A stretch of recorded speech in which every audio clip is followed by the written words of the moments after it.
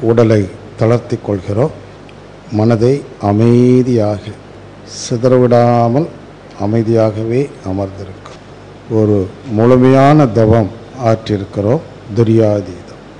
தவ முடிவிலே இரண்டொழுக்க பண்பாடு சங்கல்பமாக ஏற்றுக்கொண்டோம். அது வெறும் சங்கல்பமாக மட்டும் அமையாது. அன்றாட வாழ்விலே அதை நாம் கடைப்பிடிக்கிறோம் அதில் தான் நம்முடைய உயர்வு இருக்குது பண்புகள் உயர்ந்த பண்புகளை உடையவர்களாக பண்பாளனாக நாம் ஒவ்வொருவரும் பண்பாளன் அதை செயலுக்கு கொண்டு வரணும். பிறருக்கு துன்பம் கொடுப்பதில்லை என்று சொன்னால் அது நேரடியாக என்பது மட்டுமல்ல மறைமுகமாகவும் எண்ணங்களின் மூலமாகவும் துன்பம் கொடுப்பதில்லை. பிறரை வெறுப்பு உணர்வோடு எண்ணினாலேயே அவருக்கு கொடுக்கிற துன்பமாகிவிடும். ஒரு வெறுப்பு அலை நம்மிடமிருந்து புறப்படுமானால் அந்த வெறுப்பு அலை அவருக்கும் துன்பம் கொடுக்கும். அங்கிருந்து மீண்டும் நம்மை நோக்கி வந்து நமக்கும் துன்பம் கொடுக்கும் ஆகவே ஒன்றை வெறுப்பது பிறரை வெறுப்பது கூட துன்பமே. அந்த அளவுக்கு நுணுகி நிற்கணும். நம்மை நாம் தூய்மைப்படுத்துகின்ற போது எண்ணம் சொல் செயல் மூன்றினாலும் பிறருக்கு துன்பம் கொடுக்காமல் பார்த்துக்கணும் பிறருடைய மனதை வருத்தினாலேயே போதும். மிகப்பெரிய துன்பம். அடிக்க வேண்டும் என்பதல்ல கொலை என்பதல்ல பஞ்சமா பாதங்கள் என்பது மட்டுமல்ல. பிறருடைய மனதை சிறிது வருத்தினாலேயே போதும். அது துன்பம் கொடுக்குறோம். மிகப்பெரிய துன்பம். அடித்தா கூட பரவாயில்ல. தீயினால் சுட்ட புண் உள்ளாரும் ஆறாதே நாவினால் சுட்டவடு. இல்லையா? ஒரு புண் உள்ளாரி விடும் நாவினால் சுட்ட வடு யாரோ என்றோர் ஒரு சொல் சொல்லிவிட்டார்கள். இன்று நினைத்து பார்த்தாலும் வேதனையாக இருக்கு அது ஆறாது. ஆகவே ஆறாத கடும் சொல்களை நாம் சொல்லக்கூடாது. பிறருடைய மனதை வருத்தக்கூடாது. அது காலங்காலம் நிற்கும். ஆனால் நாம் எத்தனை பேருடைய மனதை நாம் வருத்துகிறோம் வாழ்க்கை துணையின் மனதை வருத்துகிறோம். குழந்தைகளுடைய மனதை வருத்துகிறோம். ஒரு சொல் சொல்லிடுறோம். ஆகவே சொல் நான் நான் அடக்கம் என்று சொல்வான் இல்லையா? நான் காக்க வேண்டும். யாகாவாராயினும் நாகாக்க காவாக்கால் சோகாப்பர் சொல்லிலுக்கப்பட்டு. இந்த நாவை காக்கணும். நாக்கை காக்க வேண்டுமானால் முதல்ல மனதை காக்க வேண்டும். மனதில் கூட அந்த எண்ணங்கள் தீய எண்ணங்கள் வெறுப்புக்குரிய எண்ணங்கள் எழாது பார்க்கணும். ஆனால் எழும். எப்படி எழாமல் பார்ப்பது? அதற்கு என்று ஒரு தற்சோதனை. இன்றைய சூழ்நிலையில் நாம் யாரை யாரை வெறுக்கிறோம்? ஒதுக்குறோம். ஏன் வெறுக்கிறோம்? அந்த வெறுப்புக்கு என்ன காரணம் என்று கண் அந்த வெறுப்புக்குரிய காரணத்தில் என்னுடைய பங்கு என்ன? இருக்கும். நிச்சயமாக நமது பங்கு அங்கே இருக்கும். ஒன்றை வெறுக்கிறோம் ஒரு நபரை வெறுக்கிறோம் என்றால் அவர் வெறுப்பதற்குரிய காரண காரியத்தை காணுகின்ற போது அவரும் ஒரு காரணம் நானும் ஒரு காரணம். எனக்கு அதில் பங்கு இருக்கு என்று கண்டுபிடிக்க. அப்போ எனக்கும் பங்கு இருக்கின்ற போது நான் அவரை வெறுக்கிறதுல என்ன அர்த்தம் இருக்குது போய் ஒரு மன்னிப்பு கேட்டு என்ன நான் செய்ததெல்லாம் மறந்துடுங்க அப்படின்னு நினைச்சாலேயே போதும். நான் உங்களை ஏற்றுக்கொள்கிறேன் நீங்கள் என்னை ஏற்றுக்கொள்ளும். மனசில் மனதில் எத்தனை பேரை வெறு ஒதுக்கி வச்சிருக்கிறோன்னு பாருங்கள் இப்படி நாம் நமக்குள்ளாக பேசி அந்த வெறுப்புங்கிற அலையை இல்லாமல் ஆக்கி விட்டோமேயானால் பிறருடைய மனதை வருத்தம் செய்ய வேண்டிய அவசியம் மன வருத்தம் கொடுப்பது மிகப்பெரிய பாவம். நபிகள் நாயகம் அறநெறியை பற்றி விரிவாக கொடுத்திருக்கின்றார்கள். நபிகள் நாயகம் அவருடைய முத்தாய்ப்பு பிறருடைய மனதை வருத்தக்கூடாது என்கிற அறம் தன்னுடைய சீடர்களுக்கு சொல்கிறார்கள். நபிகள் நீ தினமும் ஐந்து நேரம் தொழுது பத்தாண்டுகள் தொடர்ந்து தொழுதால் நீ எவ்வளோ புண்ணியத்தை சம்பாதிப்பாயோ அந்த அனைத்து புண்ணியமும் ஒரு நேரம் ஒரு மனிதனுடைய மனதை நீ வருத்தினால் அத்தனை புண்ணியமும் இழந்து விடுவாய். பத்து ஆண்டு காலம் தினமும் ஐந்து நேரம் தொழுது பெற்ற புண்ணியம் ஒரு மன வருத்தம் கொடுத்தமையானால் இழந்து விடுவோம் என்றால் அந்த விகிதாச்சாரத்தை பாருங்கள். அப்போ ஒரு நாளைக்கு நாம் எத்தனை முறை மன வருத்தம் செய்கிறோம்? இப்போ எங்கே இருக்குது புண்ணியம்? புண்ணியம் இல்லை. அருள் இல்லை. ஆகவே தான் துன்பம் அடைகிறோம். உடலாலும் உள்ளத்தாலும் துன்பம் அடைகிறோம் என்றால் அவ்வளவு செய்து வச்சிருக்கோம் ஊழ்வினை. அது எப்படி அந்த பாவப்பதிவுகளை போக்குவது? அதுக்கு ஏதாவது பரிகாரம் உண்டுமா? என்று கேட்டோமையானால் சிலர் உண்டு என்று கூறுவார்கள் பரிகாரமும் சொல்வார்கள் நாமும் செய்து விடுகிறோம். ஆனால் தெளிவாக ஒரு உண்மையை புரிந்து கொள்ள வேண்டும். ஒரு பரிகாரமும் இல்லை. ஊழின் பெருவலி யாவூலே மற்றொன்று சூழினும் தான் முந்துரும் ஊழை விட ஊழ் வினையை விட வலிமையானது என்ன இருக்கிறது? அது செய்த செயல் செய்துவிட்டோம் மற்றொன்று சூழினும் அதற்கு ஏதாவது பரிகாரம் தேடினாலும் தான் முந்துரும் அந்த ஊழ் தான் முந்தி வரும். விதைச்சிட்டோம். அறுவடை செய்தே ஆக வேண்டும். தப்ப முடியாது. என்ன வேண்டும்? பரவாயில்ல. அறியாத காலத்தில் செய்த செயல்கள் இப்போது விளைவாக வருகிறது. நான் அதை ஏற்றுக்கொள்வேன். அது எவ்வளவு பெரிய துன்பமாக இருந்தாலும் சரி ஏற்றுக்கொள்வேன் என்று சொல்கிற போது அந்த வலிமை எப்போது ஒன்று துன்பம் தாங்க முடியாத போது துன்பம் தாங்கும் போது துன்பம் இல்லை அதே சூழ்நிலை அதே இழப்பு. அந்த இழப்பை தாங்குகிற சக்தி இல்லாத போது அது துன்பம். தாங்க முடியுமானால்? துன்பம் இல்லை. அப்போ அத்தகைய தாங்குகிற சக்தி மனதிற்கு எப்போது சாத்தியமாகும்? ஒரு உண்மையை புரிந்து கொள்ளணும். உண்மையில் இழப்பதற்கு ஒன்றும் இல்லை என்ன இருக்கு? நாம் எதை கொண்டு வந்தோம் இழப்பதற்கு? இல்லையே. எதை வைத்திருக்கிறோம் கொண்டு செல்வதற்கு? இது சாதாரண சிந்தனை. அனைவரும் சிந்திக்கிற சிந்தனை. வந்தபோது தாயின் வயிற்றிலிருந்து வந்தபோது எந்த ஒன்றையும் கொண்டு வரல. காட்டிற்கு செல்லும் போதும் எதையும் கொண்டு போக முடியாது. கொண்டும் வரலை கொண்டும் போகலை. இடைக்காலத்தில் கொஞ்சம் அனுபவித்தோம் இதெல்லாம் நமது அனுபவமோ? அதுவே நமது சொத்து. ஆக இழப்பதற்கு ஒன்றுமில்லை. ஒரு இழப்பு பொருளளவில் ஏற்படுமானால் எதை இழந்தோம் எதை பெற்றோமோ இங்கிருந்து அதை இழந்தோம் கீதையினுடைய சாரமே அதுதானே. நீ எதை இழந்தாய்? இங்கிருந்து பெற்றதை இங்கேயே விட்டாய். ஆகவே இழப்பு என்று எதுவும் இல்லை என்று கருதினால் எந்த இழப்பும் வருகின்ற போது அது துன்பமாக இராது. அடிக்கடி நினைக்கணும். I have nothing to lose I have nothing to gain ஒன்றும் இல்லை அப்படி ஏதாவது நாம் கொண்டு வந்தோம் என்றால் எதை கொண்டு வந்தோம்? சஞ்சித கர்மம். பெற்றோர் செய்த வினையை கொண்டு வந்திருக்கிறோம். வினை போகமே ஒரு தேகம் கண்டாய். இப்போ எதை இழக்கணும்? அந்த வினையை இழக்கணும். வினையை அறுக்கணும். எப்படி அறுப்பது? அந்த வினையினால் வருகிற விளைவுகளை ஏற்றுக்கொண்டால். மகிழ்ச்சியாக. வினை வினை போகமே ஒரு தேகம் கண்டாய். வினை முடிந்தபோது தினையளவும் இல்லாதே நில்லாதே இந்த உடல். அப்போ இழக்கதற்கு தயாராக இருக்கணும். எதை கொண்டு வந்ததை? சஞ்சிதத்தில் என்னென்ன கர்மங்களை பதிவாக கொண்டு வந்திருக்கின்றோமோ அதை இழந்தே ஆகணும். அப்போ அதை இழப்பதற்குரிய சிந்தனை தான். இழப்பு என்றால் சிந்தனை. சிந்தனையின் மூலமாக மனதை வலிமைப்படுத்தி வருகிற துன்ப விளைவுகளை எல்லாம் ஏற்றுக்கொண்டவே ஆனால் வினை குறையுது. என்ன செய்து விடுகிறோம்? மேலும் மேலும் வினையை கூட்டுகிறோம். ஆகவே தான் மீண்டும் மீண்டும் பிறக்கிறோம். வினை போகமே ஒரு தேகங்கண் இதையெல்லாம் மாற்றி அமைத்து நாமும் நமது சந்ததிகளும் நமக்கு பின்னாடி வரக்கூடிய சந்ததிகளும் எப்போதுமே ஆனந்தமாக அமைதியாக வாழ வேண்டுமானால் தவமும் அறமும் தான். இல்லையா? திளைக்கும் வினைகடல் தீர்வுறு தோணி இழப்பினை நீக்க இருவழி உண்டு. கிளைக்கும் தனக்கும் அக்கேடில் முதல்வன் ஆற்றும் தவம் அறம் மேற்துணையாமே. திளைக்கும் வினைகடல் நமது இல்வாழ்வு சம்சாரம் ஒரு சாகரம் என்று சொல்வார். சாகரம் என்று சொன்னால் அலைகளோடு கூடிய கடல் பிறவியனும் பெருங்கடல். அது திளைக்குது. இல்லற வாழ்க்கையில் வினைகள் பல சங்கடங்கள் துன்பங்கள் திளைக்கும் வினைக்கடல். தீர்வுரு அங்கே தண்ணியில் மாட்டிக்கிட்டோம்.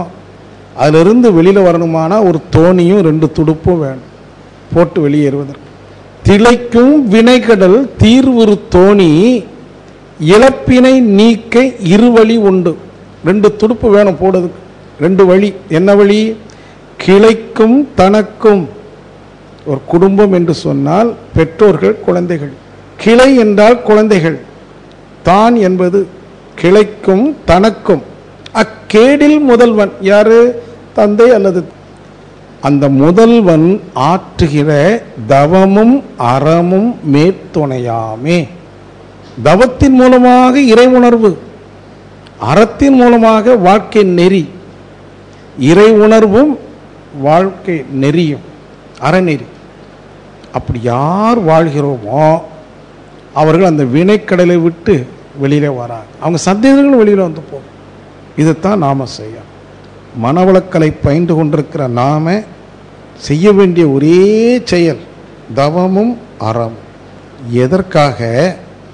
நாமும் நம்முடைய குழந்தைகளும் பேர குழந்தைகளும் சந்ததிர்களும் அமைதியாகவும் ஆனந்தமாகவும் துன்பமில்லாமல் வாழ வேண்டும் என்றால் நாம் அவர்களுக்கு கொடுக்க வேண்டிய சொத்து என்ன?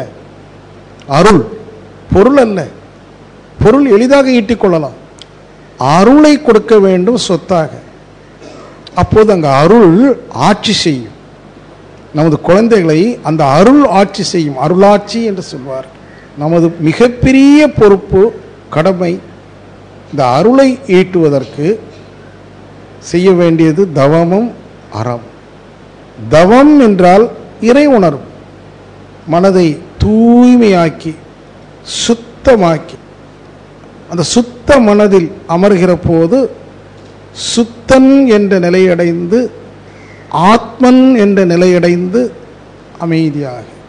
இதெல்லாம் நினைச்சாலேயே போது சுத்தமாகும். அதுக்கு ஒன்றும் வேற செயல் செய்ய வேண்டியதில்லை. இறைவா நான் சுத்தனாகணும். நான் தூயோன் என்ற நிலையை அடைய வேண்டும். நான் செய்த கர்மங்களெல்லாம் அகன்று செல்ல வேண்டும். இந்த எண்ணங்களில் அழுத்தம் இருக்குமானால் அந்த இறை ஆற்றல் பேரறிவாளன் உன்னை தூய நிலை அடைய செய்வதற்குரிய சூழ்நிலை உருவாக்கி கொடுத்துவிடும் ஒரு கால் அந்த சூழ்நிலை துன்பமாக கூட இருக்கலாம் வேதனையாக கூட இருக்கலாம். ஆனால் அவைகள் வேதனைகள் அல்ல. நம்மை செப்பனிடுகிற சூழ்நிலை இந்த மாசு நிறைந்த ஆன்மா தூய ஆன்மாவாக மாறுவதற்கு சுத்தப்படுத்துவதற்கு துணியை துவைப்பது போல துணியை துவைக்கின்ற போது அந்த துணிக்கு வேதனை உண்டு. அதே போல சூழ்நிலை நம்மை துவைக்கலாம். தூய நிலை அடைவதற்கு. அதை கண்டு அஞ்சாது. எந்த துன்பம் வந்தாலும் நான் ஏற்றுக்கொள்வேன். எனக்கு வேண்டியது நான் தூய நிலை அடைய வேண்டும். அப்படின்னு சங்கல்பம் எண்ணத்தில் அழுத்தம். எண்ணத்தில் அழுத்தம் இருக்குமானால் நிச்சயமாக நிறைவேறும். ஏனென்றால் நாம் எத்தனை பேறு பெற்றாலும் சீறு பெற்றாலும் செல்வங்கள் பல பெற்றாலும் பதவிகள் உயர்ந்த பதவிகள் அதிகாரம் கிட்டினாலும் மிக பெரியது மன தூய்மை மாசு மறுவற்ற மனம். மனத்துக்கண் மாசு இளன் ஆதல் அனைத்து அரண் தட் இஸ் டோட்டாலிட்டி எது முழுமை மனத்துக்கண் மாசு இளன் ஆதல் அனைத்து அரண் ஆகுல நீர பிற மற்றதெல்லாம் ஒன்றும் இல்லை ஆகுல. நீர பிற எத்தனையோ பிற விஷயங்கள் வச்சுருக்கோம். பொருட்செல்வம் மக்கள் செல்வம் புகழ் அதிகாரம் மிகப்பெரிய சாதனைகள். It is nothing in front of purity மன தூய்மைக்கு முன்னாடி இது ஒன்றுமே இல்லை. மனத்துக்கண் மாசு இளன் ஆதல் அனைத்து அரண். அந்த அனைத்து அரணை பெறுவதுதான் சாதனை. மனதை எவ்வாறு தூய்மை செய்வது? சிரமமே இல்லை. இங்கு எது மாசு? மனதில் எது மாசு என்றால் எண்ணங்கள். இன்பத்தை பெருக்க வேண்டும் என்கிற எண்ணம். மாசு என்றால் நாம் சாதாரணமாக அழுக்கு என்று பொருள் கொள்வோம். ரொம்ப அழுக்கா இருக்கு, தொடக்கூடாது அசிங்கம். அப்படி அல்ல. மாசு என்றால் பின்னம் சுத்தம் என்றால் முழுமை. அப்படி எடுத்துக்கணும் வார்த்தைகள். சுத்தம் என்றால் முழுமை பெர்ஃபெக்ஷன் மாசு என்றால் ஃப்ராக்ஷன் பின்னம். எண்ணம் பின்னம். எண்ணம் முழுமை அல்ல எண்ணங்கள் அனைத்தும். எந்த ஒரு எண்ணத்தை எடுத்தாலும் அது பின்ன நிலையில் தான் இருக்கும் ஆகவே மன தூய்மை என்பது மனதின் முழுமைதான் தூய்மை. மனம் எப்போது முழுமையாக இருக்கும் எண்ணங்கள் அற்ற போதும் ஒரு உதாரணம் சொல்கிறேனே நல்ல உதாரணம். என்னுடைய சிந்தனைக்கு அடிக்கடி எடுத்துக்கொள்ளக்கூடிய உதாரணம். இப்போது நீங்கள் ஒரு வீட்டுக்கு விருந்துக்கு போகிறீங்க அடிக்கடி இங்கே நான் சொல்லக்கூடிய உதாரணம் நல்ல சரியான உதாரணம். வீட்டில் டைனிங் டேபிளில் போய் உட்காந்துருக்கீங்க விருந்துக்கு போன இடத்துல அந்த அம்மா சாப்பாடு கொண்டு போகிறாங்க அதுக்கு முன்னாடி அந்த டைனிங் டேபிளில் ஒரு பழக்கூடை இருக்குது அந்த பழக்கூடை நிரம்ப ஆப்பிள் திராட்சை எல்லாம் இருக்குது மாம்பழம் எல்லாம் இருக்குது உங்கள் கண் எதை பார்க்கும்? அந்த பழத்தை பார்க்கும். இல்லையா? பழம். அவங்களும் அந்த பழத்தை எடுத்து கொடுத்தாங்க சாப்பிட்டீங்க அப்புறம் சிறிது நாள் கழித்து மீண்டும் அதே வீட்டுக்கு போகிறீங்க நண்பர் வீடு தானே? அடிக்கடி போகிறோம் டைனிங் டேபிளில் உட்காடுறோம் கண்ணு இப்போ எங்கே போகும் உடனே? பழைய பழக்கம். கூடையை பார்க்கும். கூடையில் ஒன்றும் இல்லை. உங்கள் மனசு என்ன சொல்லும்? என்னம்மா சொல்லும்? ஆ? கூடை பாவம் நீங்கள் அவன்கிட்ட காசு இல்லை போலுக்கு. கூட காலி. அப்படி தானே சொல் நல்லா பாருங்க கூட காலியா பழம் காலியா? பழம் தானே காலி. பழம் இல்லாத போது கூடை முழுமையா? பழம் இருக்கும்போது கூடை முழுமையா? ஆ? இருக்கும்போது நம்ம முழுமைன்னு சொல்லுவோம். ஒரு கப்பில் டீ கொடுக்குறாங்க ஃபுல்லாக கொடுத்தா ஆ முழுசாக கொடுத்துருங்க பாதி கொடுத்தா குறவாக கொடுத்துருக்காங்க. எப்போ டீ அந்த கப்பு ஃபுல்லாக இருக்குது? அப்போ தானே முழுமைன்னு சொல்கிறோம் அப்போ பழக்குடை எப்போ முழுமைன்னு சொல்ல முடியும்? பழங்கள்லாம் நிறைய இருந்தால் தானே? சரி தானே தப்பு தானே அதாவது அஹ், பழ பழம் இருக்குமானால் அந்த கூடை முழுமையாக கண்ணுக்கு தெரியாது. அப்போ கூடை பின்னம். பழங்கள் முழுமை கூடை பின்னம். பழங்களெல்லாம் எடுத்துட்டோம் கூடை முழுமையாக தெரியுது பழம் காலி கூடை முழுமை. சரிதானே? அதே போல இந்த மனம் என்ற கூடையில் எண்ணங்கள் என்ற பொருள்கள் நிரம்ப இருக்கு. எண்ணங்கள் நிரம்ப இருக்கின்ற போது மனம் என்ற பாத்திரத்தை என்ன செய்ய முடியாது முழுமையா? தரிசிக்க முடியாது. எண்ணங்களெல்லாம் எடுத்துட்டா முதல் முழுமை முறையாக ஒரு முழுமையான மனதை பார்க்கிறோம். அந்த முழுமையான மனமே தெய்வம். அந்த முழுமையான மனமே சுத்தன். அதுவே தூய நிலை. இங்க மாசு என்பது எண்ணங்கள். மாசு என்றால் அழுக்கு என்று எடுக்காதீங்க. தடுப்பது மாசு. கூடையை எது தடுக்குது? பழம். அப்போ பழங்கள் மாசு. மாசுன்னா அழுக்கல்ல. கெட்ட வார்த்தை அல்ல. மாசு என்றால் மறைப்பது மாசு. கூடையின் முழுமையை மறைப்பது பழங்கள் என்ற மாசு. அதுபோல எனது முழுமையை மறைப்பது என்னுடைய எண்ணங்கள் என்ற மாசு. குரல்ல அதுக்கு ஒரு பாட்டு இருக்கு. இருள் நீங்கி இன்பம் பயக்கும் மருள் நீங்கி மாசு அறு காட்சி அவருக்கு. இருள் நீங்கி அதாவது துன்பம் அகன்று இன்பம் பயக்கும். எப்போ? மருள் நீங்கி மருள் என்றால் மயக்கம். மயக்கம் அகன்று மாசு அறு காட்சி அவருக்கு. மாசு அறு காட்சினா மாசில்லாத காட்சி சுத்த வெளி. சுத்தம்னாலே என்ன அர்த்தம்? சுத்தமாக தொடரும் சொல்கிறோமா இல்லையா? சுத்தம்னா ஒன்றும் இல்லை சுத்தம். அம்மா ஸ்வீட்டு ஏய் டப்பா சுத்தம். டப்பா சுத்தம்னா என்ன? ஒன்றும் இல்லை அப்போ சுத்தம் என்றால் ஒன்றும் இல்லை எதுவாக இருக்குமானால்? ஆ சுத்தம் அசுத்தம்னா அழுக்கல்ல. அழுக்கல்ல மறைக்குது. அப்போ மனம் சுத்த மனமாக தூய மனமாக மாற வேண்டுமானால் மனதில் என்ன இருக்க வேண்டாம்? எண்ணங்கள் இருக்க வேண்டும். எங்கள் எண்ணங்களற்று எப்படி இருக்க முடியும்? தவத்தில் எண்ணங்களற்று இருக்க முடியும். தவத்தில் எண்ணங்களற்று இருந்து பழகி பழகி அந்த முழு நிலை அடைகின்ற போது அது ஆனந்தமாக இருக்கிறது என்று அறிகிற போது நாம் எந்த வேலை செய்தாலும் கடையும் கடமையும் நிமித்தம் செய்கிறேன் ஆனந்தம் உள்ளே இருக்குதுன்னு வரும்போது எண்ணங்கள் வராது. நீங்கள் தோசை விடும்போது தோசை மட்டுமா விடுறோம்? எத்தனை பேர் சுடுறோம் அந்த நேரத்தில்? தோசை மட்டும் சுடலை. வேண்டாதவங்களெல்லாம் சுடுறோம். எண்ணம். ஆனால் இப்போ எனக்கு வேண்டாதவங்க யாருமே இல்லை. ஏன் தெரியுமா? எனக்கு வேண்டும் யாரும் இல்லை. எப்போ வேண்டாதவர்கள் இருப்பார்கள்? எப்போது வேண்டியவர்கள் இருக்கின்றார்களோ? எனக்கு வேண்டாதவர்களே இல்லை. ஏன்னா வேண்டியவர்களும் இல்லை. எனக்கு வேண்டியவர்களும் இல்லை. அதான் வேண்டுதல் வேண்டாமை. வேண்டும் என்பதும் இல்லை. ஆகவே வேண்டாமை என்பதும் இல்லை. விருப்பம் இல்லை வெறுப்பும் இல்லை. விருப்பு இருக்குமானால் எதன் மீதாவது யார் மீதாவது விருப்பம் இருக்குமானால் இன்னும் ஒரு சிலர் மீது வெறுப்பு ஏற்பட்டு போகும். அதான் வேண்டுதல் வேண்டாமை.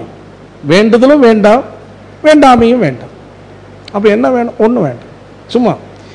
இப்படி எதையும் விரும்பாமல் எதையும் வெறுக்காமல் எல்லாவற்றையும் சமமாக பாவிக்கிற ஒரு மனோநிலை வருமானால் தோசை தான் விடுவீங்க வேற எதுவும் விடமாட்டேன் அப்படின்னா மனம் என்ன ஆகிடும் அப்போ இதையெல்லாம் நடைமுறைக்கு கொண்டு வருவதற்காக சில டெக்னிக்ஸ் சொல்லுவாங்க. நீங்கள் தோசை விடும்போது முதல்ல விடுறீங்க. அந்த தோசையை விடும்போது அந்த வட்டமாக விட்டோமான்னு பார்த்து விடணும். சிலவங்க தோசை விட்டால் ஓவல் ஷேப்பில் இருக்கும். நல்ல வட்டமாக அப்போ வட்டமாக விடணுமானா கை சீராக போடுமா இல்லையா?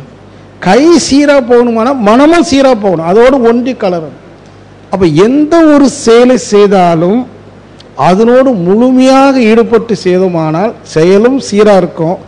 மாசுக்குரிய எண்ணங்களும் வராது. சின்ன சின்ன விஷயங்களோட குளிக்கும் போது கூட பாத்ரூமில் குளிக்கிறோம். அந்த ஒரு மக்கு தண்ணியை விட்டு தலையில் விடுறோம். தண்ணீரின் தன்மை என்ன? குளிர்ச்சி. அது உடல் முழுவதும் பரவுது. அதை பார்க்கணும். அதை பார்த்தா அந்த குளிர்ச்சி உடலுக்குள்ள ஊடுருவியே செல்லும். உடலுக்குள்ளாக அந்த குளிர்ச்சி ஊடுருவி செல்கிற போது உடலுடைய வெப்பம் தனியும் அப்போ குளிக்கும் போது என்ன செய்யணும்? குளிக்கணும். அதனுடைய பொருள் முழுமையாக சோப்பு போடுறோம் நுர நிறையா பதம் வருது என்ஜாய் பண்ணும். அழுக்கு போதோ இல்லையோ? என்ஜாய் பண்ணுறோம் நல்லா சாப்பிட்றோம். தயிர் சாதம் ஊறுகாய். எப்படி சாப்பிடணும்? சுவைத்து மென்று ஒவ்வொரு மென்னுதல்லையும் அந்த உமிழ்நீரோடு கலந்து அந்த சுவையோடு விரும்பி சாப்பிட்டோம்னா ஒரு பதினஞ்சு நிமிஷம் ஆகும் இப்போ ரெண்டு நிமிஷத்தில் சாப்பிட்டு போயிடுவாங்க. அது நின்றுக்கிட்டு பிளேட்டை கையில் வச்சுட்டு வேகமாக சாப்பிட்டுட்டு ஆயிரத்தெட்டு கணக்கு போட்டுட்டு சாப்பிட்டு கை பிழகின பிறகு நீ என்ன சாப்பிட்டேன்னா என்னவோ தந்தாங்க. என்னவோ தந்தாங்க. ஏன்? ஈடுபாடு இல்லை. தாட்ஸ் மாசு. அந்த மாசை அறுப்பதற்கு ஒரே வழி காலை எழுந்ததிலிருந்து இரவு படுக்கிற வரைக்கும் நாம் செய்கிற எந்த செயலாக இருந்தாலும் முழு ஈடுபாடோடு செய்து பழகுவது. செயலே இல்லையா? சுமார் கண்ணை மூடிட்டோம். முழுமையாக இருக்கும் இப்படிலாம் கொஞ்ச நாள் செய்து பழகினால் பழையபடி தவம் செய்கிறோம் அந்த தவத்தில் மாசு அறு காட்சி. அப்படின்னா என்ன காட்சி? சுத்த சைதன்யம் என்று சொல்லக்கூடிய சிவம். சுத்த வெளி பிரம்மம். அது அப்படியே உணர்வு கேட்டு. அது எதுவுமே இப்போ தடுக்கலை. Without no obstruction without no without obstruction எந்த தடையும் இல்லாத மாசில்லாத ஒரு காட்சி.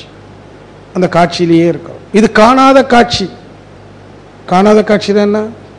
அங்கே ஒன்றும் பார்க்கறதுக்கு இல்லை. ஆனால் பார்க்குறோம். எதை பார்க்குறோம்? ஒன்றும் இல்லாத பார்க்குறோம். பார்க்க முடியுமா உங்களால்? எதாவது இருந்தால் பார்க்கலாம். ஒன்றும் இல்லைன்னா எப்படி பார்ப்பது? பார்க்கலாம். நேற்று சொன்னமே ஒரு பெட்டகம். பெட்டகத்தை கொடுத்தாரு. திறந்த உள்ளுக்கு ஒன்றும் இல்லை. ஆனால் எல்லாம் இருப்பதை பார்ப்பவன். எங்கு ஒன்றும் இல்லையோ அங்கு எல்லாம் இருக்கும். எப்படி? வித்தில் மரம் மறைந்திருப்பது போல. ஒரு வித்தை எடுத்து உடைக்கிறீங்க உங்களுக்கு என்ன இருக்கு? ஒன்றும் இல்லை. ஸ்கேன் பண்ணால் கூட தெரியாது. ஒன்றுமே இல்லை. நத்திங் ஆனால் அந்த வித்தை முளைக்க போட்டோமானா ஒரு மிகப்பெரிய மரம். காலங்காலமாக பூத்து கனிந்து அத்தனையும் எதுக்குள்ளே இருக்கு? ஒன்றுமில்லை என்று பார்த்த வித்துக்குள் மிகப்பெரிய மரம். ஆயிரம் ஆயிரம் கணக்கான இலைகள் பூக்கள் காய்கள் கனிகள் எல்லாம் இருக்கு. பார்க்கணும் அதை. அந்த ஒன்றுமில்லாத இடத்தில் அனைத்தையும் பார்ப்பவன் தான் ஞானி. எப்படி பார்ப்பது? முதல்ல மனசை பார்க்கணும். மனதில் இருக்கிற தடைகளை அப்புறப்படுத்தணும். ஒன்றுமில்லாத மனதை பார்க்க. அந்த ஒன்றுமில்லாத மனதை பார்க்க பார்க்க பார்க்க அது விரிந்து ஏகமாக செல்வதையும் அந்த அனுபவம் கிடைச்ச பிறகு நம்ம யாரை பார்த்தாலும் அழகாக இருப்பாங்க. யாரை பார்த்தாலும் மகிழ்ச்சியாக இருக்கும். எந்த நிகழ்ச்சி நடந்தாலும் மகிழ்ச்சியாக இருக்கும். காரண காரியத்தோடு நடக்கிறது. அப்போ தான் பாடுறாங்க. இயற்கை இனிது இடி இனிது மின்னல் இனிது மழை இனிது படம் எடுத்து ஆடும் நாகம் இனிது சீறி வரும் சிங்கம் இனிது பாரதியார் பாடுறார். எல்லாம் இனிது. தோகை விரித்து ஆடும் மயில் மட்டுமல்ல சீறி வரும் சிங்கம் இனிது சிங்கத்தை பக்கம் நினைச்சு பாருங்க அவனுடைய முடி அவனுடைய கம்பீரம் அப்படியே எழுந்து நிற்கிது பாருங்க. லயன் ரோரிங் லயன் பார்த்தீங்களா எவ்வளோ அழகாக இருக்கு சிங்கம். ஒன்று சொல்கிறேன் தப்பா எடுத்துக்க மாட்டிங்களே. பெண் சிங்கம் அழகாக இருக்குமா ஆண் சிங்கம் அழகாக இருக்குமா? ஆ? அதுக்கு தான் இதெல்லாம் இருக்கும் முடியலாம் ஆண்மையில் நல்லா இருக்குமா பெண்மையில் நல்லா இருக்குமா? தோகை அதுக்கு தான் இருக்கும். அதுக்கு வேண்டி பெண்களை குறைக்கிறதல்ல. அந்த ஆண்மையிலையும் பெற்றுது அதானே? அது ஆண் என்றால் ஆளுமை என்று. ஆளுமை என்ன? ரூலிங் அப்ப பெண்களிடம் ஆளுமை உண்டு. பெண்களிடம் ஆளுமை வருமானால் பெண்ணும் ஆண்மை ஆளுமை. அறிவை கொண்டு ஆளுகிற ஒரு ஆற்றல் வருகின்ற போது எங்கு அறிவு ஆற்றல் நடக்குதோ அது அழகா இருக்கும். அது பெண்ணா இருந்தாலும் ஆணா இருந்தாலும் இப்போ பெண்களை பெண்ணா பார்க்குறோம். ஆண்மையில் அழகா இருக்குன்னு பார்க்குறோம். பெண்மையில் தோகை இல்லைன்னு பார்க்குறோம். இப்போ உருவத்தை பார்க்குறோம். ஆனால் அந்த உருவத்திற்குள்ளாக இருக்கிற ஆளுமையை பார்க்க முடியுமானால் அறிவு ஆளுகிறது என்று பார்க்க முடியுமானால் இந்த அறிவு ஆளுமானால் இங்கே பார்க்குற எல்லா அறிவும் அழகாக இருக்கும் ஏன்னா அறிவு ஆளுது. இதுதான் அறிவு ஆட்சி தரம். பர்சனாலிட்டி டெவலப்மெண்ட் கோர்ஸ்னு சொல்கிறோமே அறிவு ஆட்சி தரத்தை மேன்மைப்படுத்தணும். இதற்கு என்ன வழி? எண்ணங்களற்ற மனதை பார்த்து எண்ணங்களற்ற மனம் முழுமையாக இருக்கிறது என்று பார்க்கின்ற போது ஒரு பேதமற்ற மனம். இதுதான் அத்வைதம். பேதமில்லாத மனம் அத்வைதம். நோ டுவாலிட்டிஸ் பேதமில்லாத மனதை பார்க்கக்கூடியவர்களுக்கு தன்வகத்தை. வெளியில் எதுவுமே பேதமாக தெரியாது. இங்கு பேதமற்ற மனதை பார்க்கின்ற போது புறத்தையும் பேதம் இல்லை. மத பேதம் ஜாதி பேதம் இன பேதம் மொழி பேதம் தேசம் என்கிற பேதம். எத்தனை பேதங்கள்? இன்னைக்கு இருக்கா இல்லையா? இருக்கு. உங்கள் வீட்டு பொண்ணு வேற ஜாதி பையனை கூட்டிட்டு வந்தா ஒத்துக்குவீங்களா? இவ்வளோ பேசுகிறோமே இவ்வளோ பேசிட்டோம். நாளைக்கு வீட்டுக்கு போங்க. உங்கள் பொண்ணு சொல்லலாம் இல்லை பையன் சொல்லலாம். நான் அந்த பொண்ணை விரும்புகிறேன் ஆ? அது என்ன ஜாதி? சொல்கிறோமா இல்லையா? அப்போ பேதம் வந்து போச்சு. வந்து போச்சு. ஏன்னா மனசில் பேதங்கள் இருக்கு. அப்போ தூய்மை நிலை அடைய முடியும் செயல்முறை பிராக்டிக்கல் லைஃப் என்பது இது பேசுவதற்காக அல்ல. சமத்துவம் வெறும் பேசுவதற்கு அல்ல. செயலில் வரணும். மனதில் முழுமையை கண்டு அந்த தூய நிலையை கண்டு அது ஆனந்தமாக இருக்கிறது என்று உடனே அன்னைக்கு அவன் சாப்பிட்றது இல்லை. சொல்கிறான் பாகிஸ்தான் தோற்றுச்சுன்னு வைங்க. ஒரே சந்தோஷம். இது எதை காட்டுது? தேசப்பற்றுன்னு சொல்லுவோம். பொதுவா இந்தியா மேல என் நாடு ஜெயிக்கணும். தேசப்பற்று. என் நாடு தான் இந்த உலகத்திலே மிகப்பெரிய நாடா பொருளாதாரத்தில் இருக்கணும். நினைக்கிறோமா இல்லையா? அப்துல் கலாம் சொன்னார் நமது நாடு இருபது ஆண்டுகளில் உலகத்திலேயும் மிகப்பெரிய வல்லரசாக மாற வேண்டும். நான் அந்த அப்துல் கலாமுக்கு எதிராக சிந்தனையாளன். அவர் சொல்றத நான் ஒத்துக்க மாட்டேன். இட்ஸ் ராங் என் நாடு வெற்றி பெற வேண்டுமானால் இன்னொரு நாடு என்னாக வேண்டும்? தோல்வி பெற வேண்டும். இன்னொருத்தரை தோக்க வைக்கிறது உயர்வா சிறுமையா? பாகிஸ்தான் ஜெயிச்சானா இந்தியா ஜெயிச்சானா ரெண்டு பேரும் நல்லா விளையாடுறாங்களா என்ஜாய் இட் நீங்க சின்ன வயசுல விளையாடி இருப்பீங்க ஃபுட்பால் விளையாடி இருப்பீங்க வேற பால் விளையாடிருப்பீங்க ஸ்கூலில் ஸ்கூல்ல சும்மா விளையாடுவோம். நாலு கோல் வாங்கியிருப்போம் சங்கடப்பட மாட்டோம். படுத்துட்டு ஆஹா இன்னைக்கு சுகமாக இருந்த விளையாட்டு. விசத்து கொட்டும். மூச்சு வாங்கும். வராண்டால படுத்துட்டு டே ராமா நீ எப்படிடா இருந்த? நல்லா இருந்தல விளையாட்டு. நாலு கோல் வாங்கியிருப்பான் தோல்வி அவனுக்கு தோல்வி அல்ல. அவன் விளையாட்டு. விளையாட்டுனா விளையாட்டு. It's mere game mere play ஆனால் பண்ணே வைக்கிறோம் பாருங்க.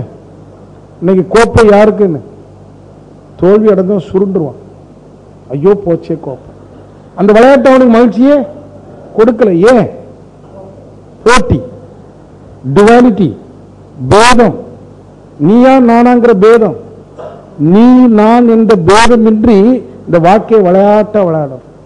பாகிஸ்தான் ஜெயிச்சா ஜெயிக்கிட்டோம். நல்லா விளையாடினவே என்ஜாய் இட் அவ்வளோ அழகா அடிச்சான் பாரியா சிக்ஸர் ம். யார் அடிச்சாலும்? அவன் நல்லா அடிச்சான். நம்ம என்ஜாய் பண்ணுவோம். இப்படி தேசப்பற்றும் இல்லாமல் முதல் முறையா இங்க கேட்கிற ஒரு நற்செய்தி தேசப்பற்று வேண்டாம். ஒன்றாம் வகுப்புல நேஷனல் பேட்ராட்டிசம் தேசப்பற்றை பற்றி ஒரு பாட்டு எழுதி அவர் கொடி போட்டு சொல்லி கொடுத்தார். சின்ன குழந்தைகளுக்கு இது உன் நாடு பாரத நாடு என் நாடு பற்று. இந்த நாட்டின் மீது பற்று இருக்குமானால் அண்டை நாட்டின் மீது துவேஷம் இருக்கும். இருக்குமா இருக்காதா? அப்போ துவேஷம் ஏன் வளருது? பற்று. அது என்ன பற்றாக இருந்தாலும் சரி.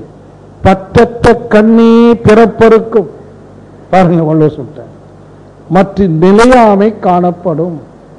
பற்று அற்ற கண்ணை என்ன பற்று? பொருள் பற்று மட்டுமல்ல. தேசப்பற்று மொழிப்பற்று மதப்பற்று இனப்பற்று ஜாதிப்பற்று எந்த பற்றாக இருந்தாலும் பற்றற்ற கண்ணே பிறப்பறுக்கும். மற்றும் நிலையாமை காணப்படும். பிறப்புனா என்ன? எண்ணங்களின் பிறப்பு துவேஷங்கள் அறுத்து விடும் எந்த எண்ணமும் இல்லாமல் இருக்க முடியும். முத பற்று விட்டு பழகு. அப்படி ஒரு பற்றை விடுவதற்கு பற்றுக பற்றத்தான் பற்றினை. அப்பற்றை பற்றுக பற்று எப்படி பற்று விடுது பற்று இருந்து பற்று விட்டவன் ஞானி. பற்றுக பற்று அற்றான் பற்றினை. அப்பற்றை பற்றுக பற்று விடரு பற்று விடல் தான் இந்த ஆன்மீகத்தினுடைய நோக்கமே. இந்த மனவளக்கலை பயிற்சியுடைய நோக்கமே நீங்கள் அனைத்து பற்றுகளையும் விட்டு விட்டு இதெல்லாம் ஒன்றும் ஒத்து வராது. மனசு சொல்லுது. இவர் சொல்கிறாரு நல்ல வெள்ளை சட்டை நேற்று ஒரு சட்டை இன்னும் ஒரு சட்டை போட்டு ஏதோ ஒன்று ஸ்டாரையும் குத்திட்டு வந்திருக்காரு. இதை பற்ற விட்டாரா? சொல். பேசுவாங்க அப்படித்தானே? இது புறப்பற்று. அகப்பற்று. அகத்தில் தான் பற்று. புறத்தில் இல்லை. கையில் வாட்ச் இருக்கு மோதிரம் இருக்கு. இருக்கு போட்டேன். எவனா திருடிட்டு போட்டால் போனா போகிறான் இப்போ திருட்டு போச்சுன்னு வைக்கலேன் சங்கடப்பட மாட்டோம். ஒரு நாலு மாதத்துக்கு முன்னாடி ஒரு இருபத்தையாயிரம் ரூபா டிராஃப்ட் போயிடுச்சு. டெல்லிக்கு அனுப்புனது கொரியரில் எவ்வளோ அடிச்சிட்டான்? அது பேரர் டிடி யார் வேணாலும் மாற்றிடலாம் ஏன்னா number two DD number two DD போச்சு. கண்டே பிடிக்க முடியல பேங்க்கில் கேட்டால் கோஆப்ரேஷன் ஒன்றும் இல்லை. சரி விடு. இருபத்தாயிரம் போனால் போட்டு. அதுக்கு வேண்டி நம்ம ஸ்டெப் எடுக்கிறோம் பாருங்க. அது பல லட்சத்துக்கு சமம். டென்ஷன் போனால் போட்டு. யார்கிட்ட நான் ஐயாயிரம் ரூபாய் திருடி இருப்பேன் அது இருபத்தையாயிரம் வட்டி முதலாக போகுது போட்டு. அமைதி கொள். போனதெல்லாம் நல்லது. போனதெல்லாம் போனால் தான் இருப்பது இருக்கும். சாமிஜி சொல்றார். நான் சொல் நீ விட வேண்டியதெல்லாம் விட்டு விட்டால் பெற வேண்டியது அங்கே இருப்பதை பார்க்கலாம். நீ விட வேண்டியதெல்லாம் விட்டு விட்டால் பெற வேண்டியது என்ன? அமைதியும் ஆனந்தமும். அங்கே இருப்பதை பார்க்கலாம். எங்கே?